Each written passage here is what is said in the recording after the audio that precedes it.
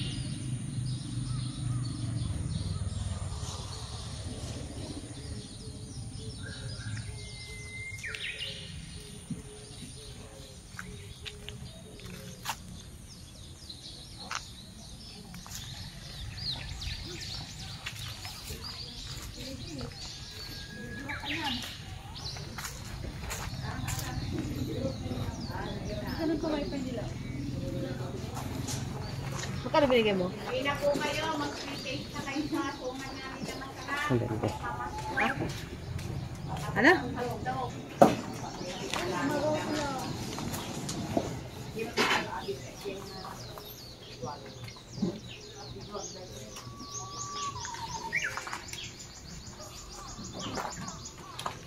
Pre-taste kayo, suman na masarap.